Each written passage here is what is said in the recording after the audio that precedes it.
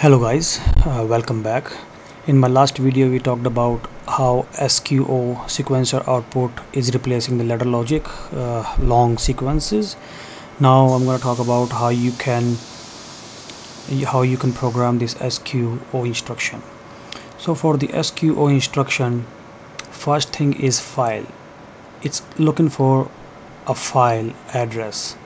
So I'm, I'm using here b3 column 2 and this uh, hashtag in front of it it tells you the whole file or whole word. So when you I'm going into the binary I'm using b32 so if I'm using hashtag in front of it it means I'm talking about the whole word.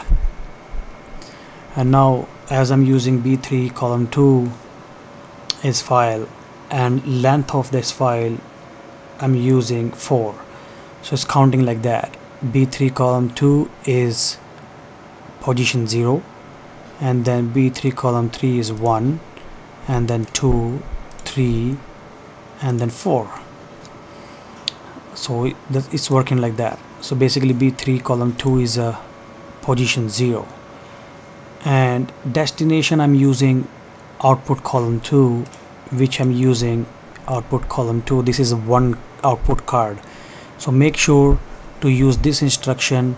Your output has to be it must be in one output card. In one output card which is output column 2 right? So this is all one card. And after that I'm using uh, this mask. You can modify this mask according to you whatever you want. And to control this I'm using control register which is R6 uh, 0 R6 column 0 so this output register has enable EU DN EM these all bits.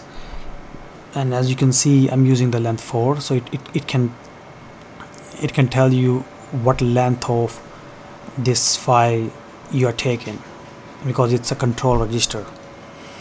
And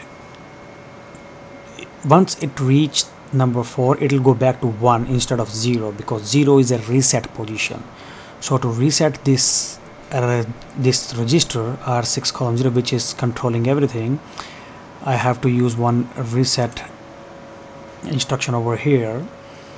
And I'm using one timer on bit to perform that still 5 second delay which is like after 5 seconds all three LEDs will turn off. And I'm using this as a equal to 3 which is all three lights when three lights gonna be on then it will make it true. And the 5 second will start counting. Timer. And I'm using this register 6 position as I showed you here. Uh, this control register it's a tie uh, I'm using is position. What position it's at. When I'm gonna count this you can see that I'm gonna demonstrate right now. It's in run mode right now.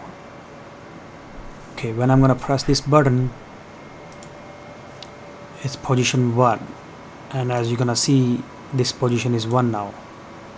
And when I'm gonna press this button again two lights are on which is position 2 and in binary table it's at this position right now number 2 so it's 0 1 2 3 and then 4 is all off again. So as soon as it's gonna be number 3 position it'll make it true and timer gonna start counting and it'll make it reset when the timer gonna be done. So that's how you can program sequencer output instruction. Thank you very much